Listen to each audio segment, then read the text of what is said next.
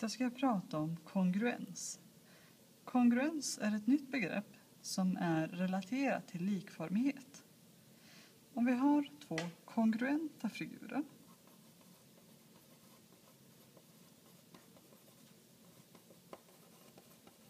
som till exempel kongruenta rektanglar eller kongruenta trianglar så är de exakt lika. Förutom att man kanske har vridit den ena eller den andra. Alltså är motsvarande vinklar lika stora fortfarande.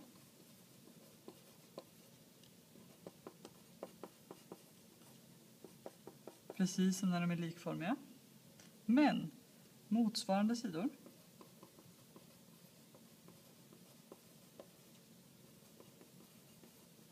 De ska inte ha samma förhållande utan nu vara lika.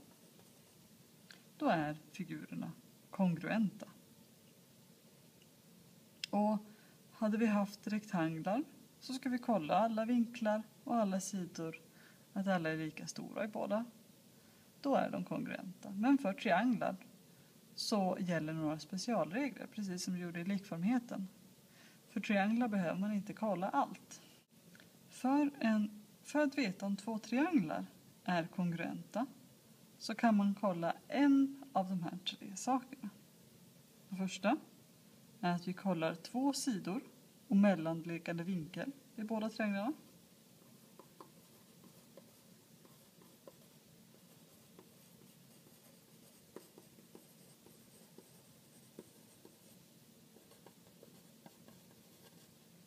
Alltså om två sidor och mellanliggande vinkel är lika i båda så är de kongruenta.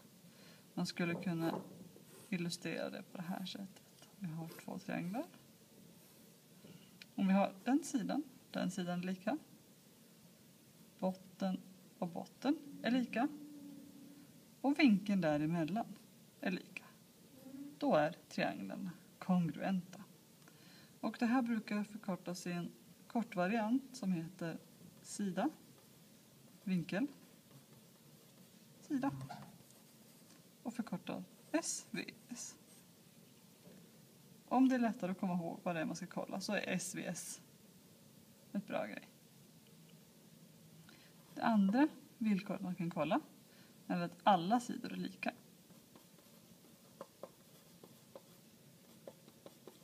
Är alla sidor lika så, är, så följer också att alla vinklar är lika och då behöver man inte kolla vinklarna utan det följer automatiskt.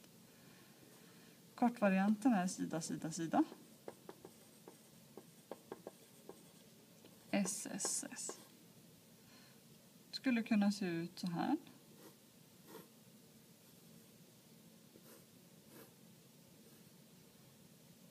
Vänster sida lika stor som vänster sida där.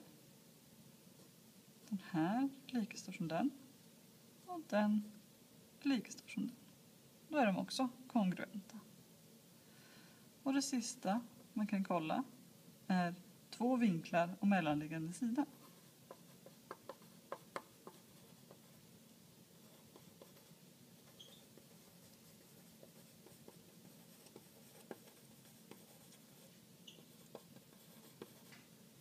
Till exempel så här.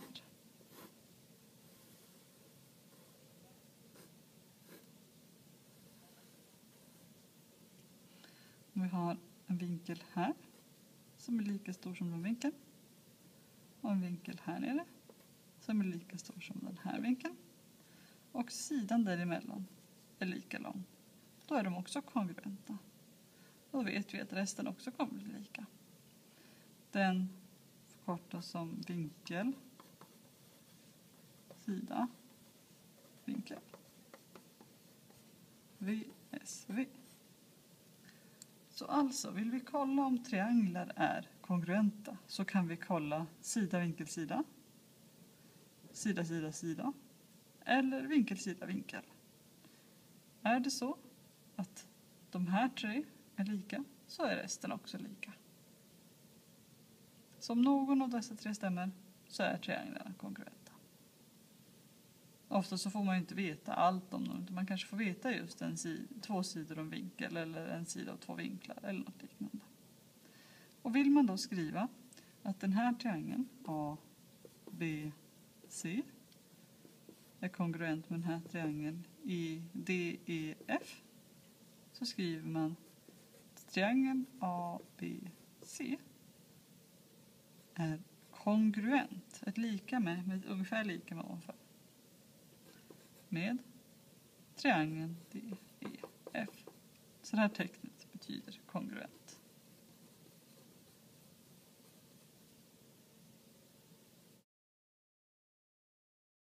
Om vi nu ska ta några exempel på kongruens så kan vi ha två trianglar så här. Och en till. Så säger vi då att båda har en 90 graders vinkel. Sidan 3 och 3, sidan 5 och 5. Och så frågar vi oss, är dessa kongruenta?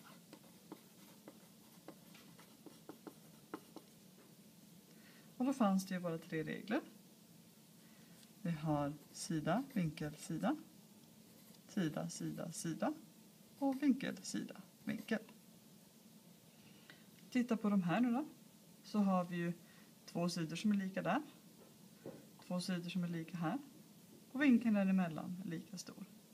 Det här är alltså en sida, vinkel, sida variant. Och eftersom sida, vinkel, sida är lika så är de kongruenta. Om vi tar till exempel liknande trianglar.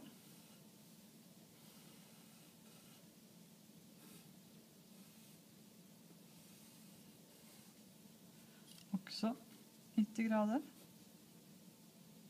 Och så säger vi då att den här triangeln A, B, C och det här är D, E, F. Och så har vi 30 grader här och 30 grader där. Så vet vi att baserna är 5. Och så vet vi då givetvis att den här, om den är 30 och den är 90, då finns det ju 60 kvar till den. Så då vet vi att den är 60 grader. Är de här kongruenta då? Och vi har ju inte två sidor i den här triangeln. Så vi kan inte använda vare sig första eller andra regeln. Vi har bara en sida. Däremot så har vi ju två vinklar i den här. Och en sida. Det har vi den här också. Två vinklar och en sida. Första vinkeln stämmer överens. Sidan stämmer överens. Och sista vinkeln stämmer överens. Vi har alltså en VSV. Eftersom de är lika så är de kongruenta. Och det innebär att alla andra sidor måste vara lika och alla andra vinklar måste vara lika. Så vinkeln A måste ju vara lika stor som vinkeln D. Och alltså 60 grader. Och sidan AB måste vara lika lång som sidan DF. Och sidan AC är lika lång som DE. Vi vet ju inte hur långa de är, men vi vet i alla fall att de ska vara lika eftersom de är kongruenta. Så om vi hittar sidor som uppfyller något av de här tre villkoren så vet vi att figurerna är kongruenta och då kan vi genom det visa att ja, men resten ska också vara lika.